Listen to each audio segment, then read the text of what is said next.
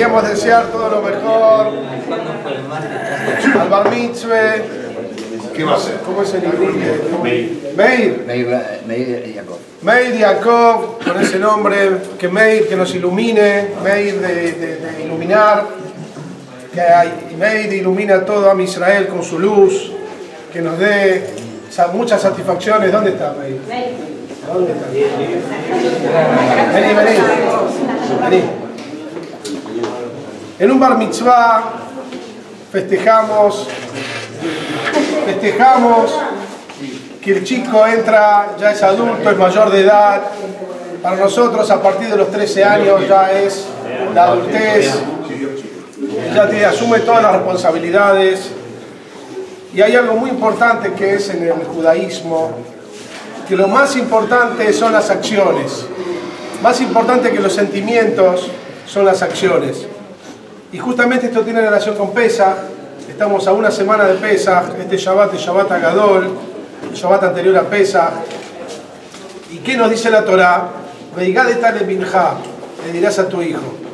Tenés que contarle a tu hijo. Tenés que contarle todo lo que pasó en Mitzrayim y todos los milagros y maravillas que ocurrieron. Y es tan importante el Veigadetale binja, le contarás a tu hijo que toda la noche del Seder, todo el orden del Seder de Pesach gira en torno a los hijos. El Manishtaná, que los chicos preguntan y tienen que preguntar y los padres tienen que contestarle y le cuentan a los hijos y le relatan. Y esa es la base del judaísmo, la base de la eternidad del pueblo de Israel, es la transmisión de los padres a los hijos. Y justamente estamos hablando de que lo principal es la acción, eso también lo vemos en el ceder de pesa. En el ceder de pesa hay muchas cosas que se hacen en el ceder, ¿para qué? Para que los chicos pregunten. La atmía que se moja con agua y sal, y que se, ¿para qué? Para que los chicos pregunten, se mueve la que hará en un momento determinado, y se hace así, se hace así. ¿Para qué? Para que los chicos pregunten, y que los chicos vean, y que los chicos participen. Y justamente lo que estamos diciendo, en un hogar judío, para asegurarnos que la transmisión se mantenga y la transmisión judía continúe, lo principal son las acciones. Porque si un padre y una madre dicen, bueno, no, nosotros en el corazón realmente le transmitimos y él sabe que nosotros estamos eh, consustanciados con el judaísmo, no es suficiente. ¿Por qué no es suficiente? Porque los sentimientos a veces no se ven, no se sienten, no se perciben. A veces los chicos, los grandes, son muy importantes los sentimientos, por supuesto, no vamos a decir que no, es fundamental. Pero los sentimientos tienen que estar acompañados con acciones. Cuando en un hogar hay una mezuzá, el chico ve la mezuzá. Cuando en un hogar hay tefilín, acá como tiene Meir, Meir Yaakov, tiene los tefilín y hoy puso los tefilín y lo está poniendo ya desde hace un, par de meses, ya se está practicando, ya se está entrenando y Benat Hashem lo va a poner todos los días de su vida, menos Shabbat y Yom Tov, ¿sí? Entonces, ahí tiene el judaísmo. Cuando llega un Pesach y hay, una familia reunida y hay matzá, y hay las cuatro copas de vino, y hay el maror, y el jaroset, y todas las, y para los rusos hay gefilte fish, hay gren, y todas las cosas. Entonces, eh, el chico vive eso, y eso queda para toda la vida. Después cuando uno es grande dice, uy, yo me acuerdo el Seider en la casa de la Bobe, y me acuerdo el Seider en la casa de mi papá, de mi mamá, y eso queda para toda la vida, eso queda para siempre. Y eso es lo que tenemos que mantener y, y seguir transmitiendo. Las acciones, sentir como judío, pensar como un judío y actuar y vivir como un judío. Acá en Baruch tenemos una familia con nuestro querido Shimon y con su señora esposa, que viven el judaísmo, se esfuerzan para transmitir estos valores y estas acciones.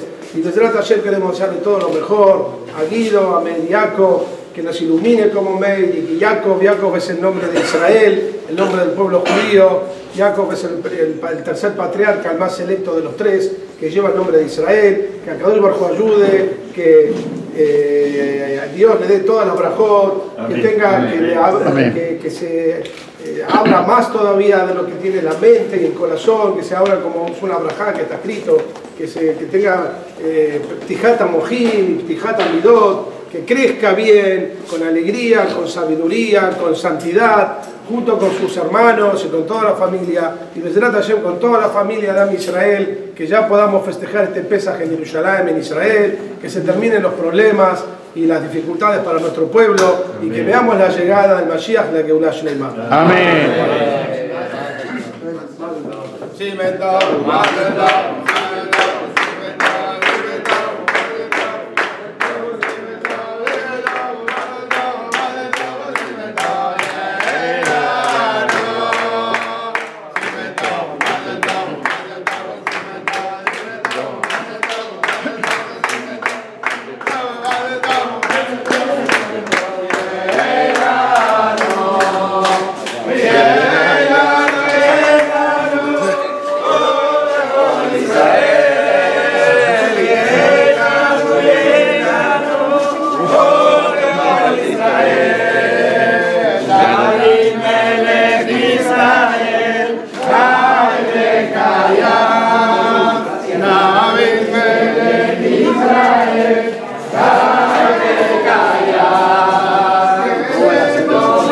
Jesus.